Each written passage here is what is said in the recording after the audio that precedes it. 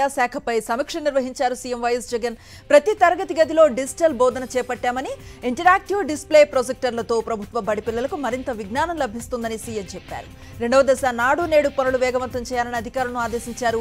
స్కూళ్ళలో విలువైన ఉపకరణాలను ఏర్పాటు చేస్తున్నామని భద్రతా దృష్ట్యా తగిన చర్యలు తీసుకోవాలని సూచించారు. సీసీ కెమెరాల ఏర్పాటుపై ఆలోచన చేయాలని చెప్పారు.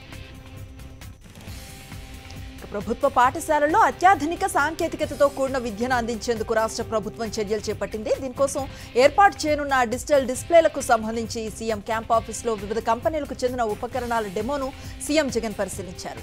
ఇంటరాక్టివ్ డిస్ప్లే ప్రొజెక్టర్స్ పనితీరు నాణ్యత మోడల్ను పరిశీలించి అధికారులను వివరాలు అడిగారు సీఎం జగన్. ఏపీ ప్రభుత్వంపై నీతి ఆయోగ్ సభ్యుడు రమేష్ చంద్ర ప్రశంసలు కురిపించారు. వ్యవసాయంలో ఏపీ చాలా అభివృద్ధి చెందిందన్నారు. రైతుల కోసం ఆర్బీకేల ఏర్పాటు గొప్ప విషయం అన్నారు. ఆర్బీకేలు దేశానికి ఆదర్శమని కొనియాడారు. అన్ని రాష్ట్రాల్లో ఆర్బీకేలు ఏర్పాటు చేయాలని కేంద్రానికి సూచిస్తానని రమేష్ చంద్ అన్నారు. చంద్రబాబు కోనసీమ పర్యటనలో జూనియర్ ఎన్టీఆర్ జెండాలు హోరెత్తాయి.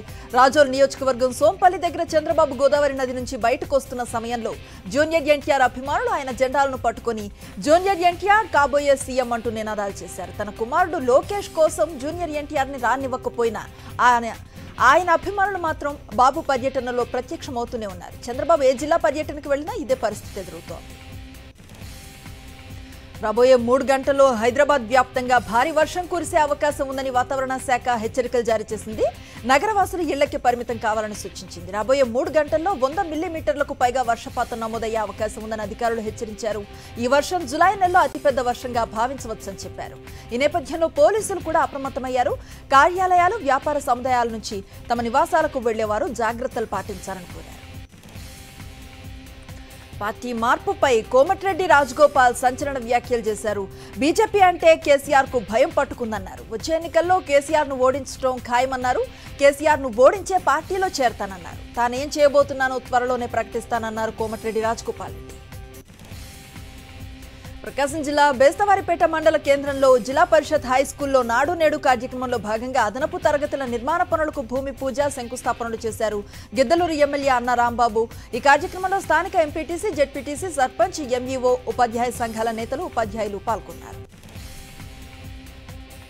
ఎగువ రాష్ట్రాల్లో కురుస్తూ ఉన్న వర్షాల కారణంగా శ్రీశైల జలాశయానికి వరద నీరు పోటెత్తుతోంది. ఈ నేపథ్యంలోనే శ్రీశైల డ్యాం నుంచి నీటిని దిగువకు విడుదల చేయడానికి అధికారులు సిద్ధమయ్యారు. ప్రస్తుతం ఇన్ఫ్లో ఒక లక్ష ముప్పై ఏడు వేల నాలుగు వందల ఎనభై ఏడు క్యూసెక్కుల నీరు వచ్చి చేరుతోంది. శ్రీశైల జలాశయం పూర్తి స్థాయి నీటి మట్టం ఎనిమిది వందల ఎనభై ఐదు అడుగులు కాగా ప్రస్తుతం ఎనిమిది వందల ఎనభై రెండు అడుగులకు చేరుకుంది. అవుట్ఫ్లో ఇరవై ఎనిమిది వేల నూట పదిహేడు క్యూసెక్కులుగా ఉంది. తెలంగాణ జల విద్యుత్ కేంద్రంలో విద్యుత్ ఉత్పత్తి కొనసాగుతోంది. నేపథ్యంలోనే శ్రీశైల డ్యాం గేట్లు ఎత్తడానికి అధికారులు సన్నాహాలు చేస్తున్నారు. ఖమ్మం జిల్లా వైరాలో కార్మికులు ఆందోళనకు దిగారు. మిషన్ భగీరథ ప్రాజెక్టులో పనిచేస్తున్న కార్మికుల పెండింగ్ వేతనాలు విడుదల చేయాలని మూడవ రోజు కార్మికులు విధులు బహిష్కరించి ధర్నా చేపట్టారు. ఐదు వందల ఏడు మంది కార్మికులు గత కొన్ని నెలలుగా ఎల్ఎన్టీ కంపెనీల వేతనాలు చెల్లించకుండా ఇబ్బందులకు గురి చేస్తున్నాయని విమర్శించారు మిషన్ భగీరథ కార్మిక విభాగం రాష్ట్ర అధ్యక్షుడు రవి. కార్మికుల పెండింగ్ వేతనాలతో పాటు మూడేళ్ళలో పెండింగ్లో ఉన్న బోనస్ను కూడా విడుదల చేయాలని డిమాండ్ చేశారు. కరీంనగర్ కేంద్రంలో బైపాస్ రోడ్డు వద్ద ఉన్న ఓ హోటల్లో పురుగుల ఆహారం పెడుతున్నారని కస్టమర్లు ఆందోళనకు దిగారు. భోజనంలోకి ఇచ్చిన పెరుగులో తెల్ల పురుగులు వస్తున్నాయని కస్టమర్లు హోటల్ యజమానిని అడిగారు. దీనికి అతను నిర్లక్ష్యంగా సమాధానం ఇచ్చారని కస్టమర్లు ఆగ్రహాన్ని వ్యక్తం చేశారు. అపరిశుభ్ర ఆహారం తిని అస్వస్థతకు గురైతే ఎవరు బాధ్యులని ఆగ్రహాన్ని వ్యక్తం చేస్తూ కస్టమర్లు హోటల్ నిర్వాహకులపై దాడి చేయబోయారు. ప్రజల ఆరోగ్యం దృష్ట్యా తక్షణమే సంబంధించిన అధికారులు తగిన చర్యలు చేపట్టాలని కస్టమర్లు డిమాండ్ చేశారు. నెల్లూరు జిల్లా ఉదయగిరిలో గడప గడపకు మన ప్రభుత్వ కార్యక్రమంలో ఎమ్మెల్యే మేకపాటి చంద్రశేఖర్ రెడ్డి పాల్గొన్నారు. దేశంలో ఎక్కడా లేని విధంగా గ్రామ వార్డు సచివాలయ వ్యవస్థ వాలంటరీ వ్యవస్థ తీసుకువచ్చిన ఏకైక ముఖ్యమంత్రి వైఎస్ జగన్మోహన్ రెడ్డి అన్నారు. రెండు వేల ఇరవై నాలుగు ఎన్నికల్లో వైఎస్ జగన్మోహన్ రెడ్డిని గెలిపించుకోవాల్సిన బాధ్యత అందరి మీద ఉందన్నారు. రాష్ట్రంలో సంక్షేమ పథకాలు అందని గడప లేదన్నారు ఎమ్మెల్యే కేతిరెడ్డి పెద్దారెడ్డి. అనంతపురం జిల్లా పెదవడగూరు మండల కేంద్రంలో గడప గడపకు మన ప్రభుత్వం కార్యక్రమంలో ఆయన పాల్గొన్నారు. ఈ సందర్భంగా ప్రతి ఇంటికి తిరుగుతూ ప్రభుత్వం నుంచి అందుతున్న సంక్షేమ పథకాలు రాష్ట్రంలో జరుగుతున్న అభివృద్ధిని ప్రజలకు వివరించారు. వైఎస్ఆర్సీపీ పాలనలో ప్రజలు సుభిక్షంగా ఉన్నారన్నారు. సంక్షేమ పథకాలు ప్రతి ఒక్కరికి అందేలా సచివాలయ సిబ్బంది వాలంటీర్లు కృషి చేయాలని ఎమ్మెల్యే యువి కన్నబాబురాజు తెలిపారు. అనకాపల్లి జిల్లా మునగపాక మండలం ఆనందపురం గ్రామంలో గడప గడపకి మన ప్రభుత్వం కార్యక్రమంలో మాజీ డీసీసీబీ చైర్మన్ కుమార్తో పాటు ఆయన పాల్గొన్నారు. అనంతరం గ్రామ సచివాలయంలో సచివాలయ సిబ్బంది వాలంటీర్లతో సమావేశం నిర్వహించారు. పల్నాడు జిల్లా నర్సరావుపేట పట్టణంలో ఉదయం నుండి కురుస్తూ ఉన్న వర్షంతో రహదారులు కాలనీలు జలమయమయ్యాయి. ముంపు ప్రాంతాల్లో ఎమ్మెల్యే డాక్టర్ గోపిరెడ్డి శ్రీనివాసరెడ్డి పర్యటించారు. భారీ వర్షాల నేపథ్యంలో కాలువలు డ్రైన్లు బ్లాక్ కాకుండా చెత్త తొలగించాలని ఆదేశించారు. అధికారులు అప్రమత్తంగా ఉంటూ ప్రజలకు అందుబాటులో ఉండాలని ఎమ్మెల్యే సూచించారు.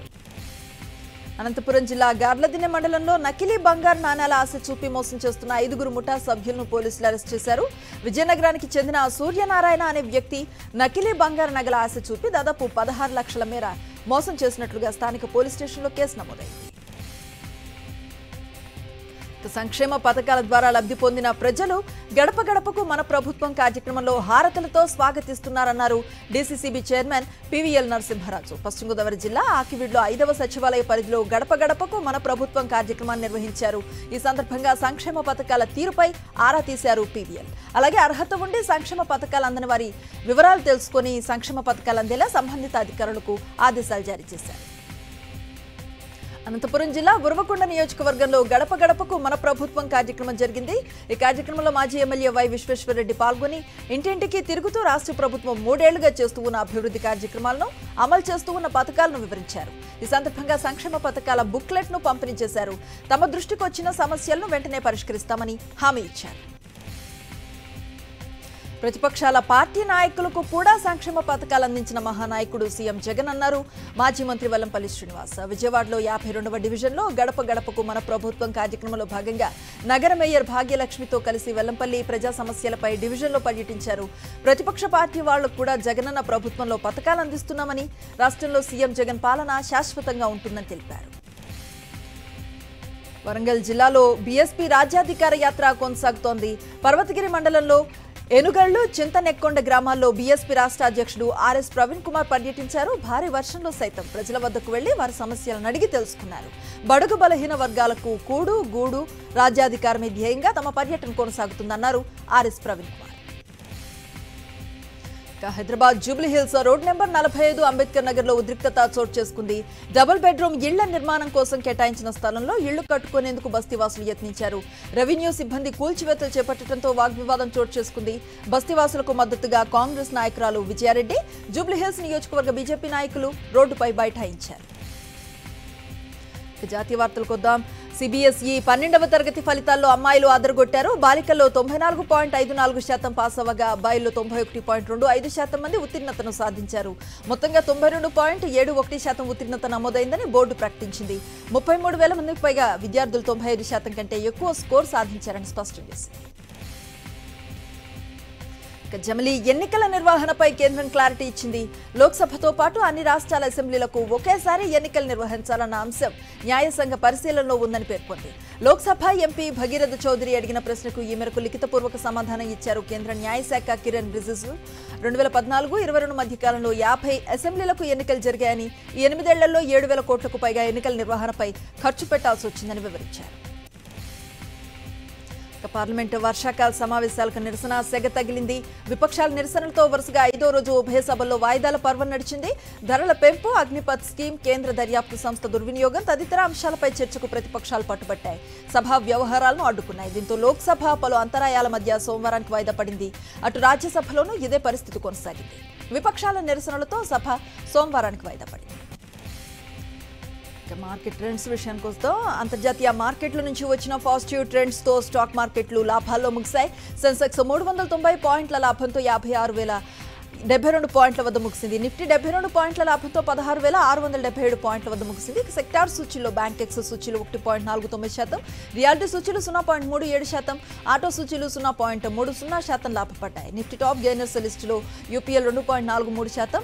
ఐషర్ మోటార్స్ రెండు పాయింట్ రెండు సున్నా శాతం హెచ్డిఎఫ్సి ఒకటి పాయింట్ తొమ్మిది రెండు శాతం లాభపడ్డాయి. సోషల్ మీడియా దిగ్గజం ఫేస్బుక్ తన కాంపిటీటర్ టిక్ టాక్కు చెక్ పెట్టేలా కొత్త కొత్త ఫీచర్స్ను అప్డేట్ చేస్తోంది. ఇప్పటికే టిక్ టాక్ తరహాలో షార్ట్ వీడియోలు వీక్షించడంతో పాటు ఇన్స్టాగ్రామ్ పోస్టులు సైతం ఫేస్బుక్లో కన్వర్ట్ అయ్యేలా డిజైన్ చేసింది. అయితే తాజాగా ఫేస్బుక్ సరికొత్త ఫీచర్ను అందుబాటులోకి తెస్తున్నట్లుగా ప్రకటించింది. ఫీడ్ అనే పేరుతో ఫేస్బుక్ కొత్త ఫీచర్ను ఎనేబుల్ చేస్తున్నట్లుగా సంస్థ సీఓ మార్క్ జుకర్బర్గ్ ప్రకటించారు. భారత్ పేరు చెప్పగానే ప్రపంచ దేశాలకు గుర్తొచ్చేది ఐటీ. విదేశీ మారక ఆదాయం కోసం కార్పొరేట్ ఇండియా ఈ రంగంపై గతంలో కంటే ఎక్కువగా ఆధారపడుతోంది.